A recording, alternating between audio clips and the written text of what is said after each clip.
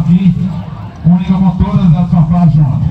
Então, para começar aí, nós teremos, vamos iniciar com a fanfarra Constelações de Curral de Dentro.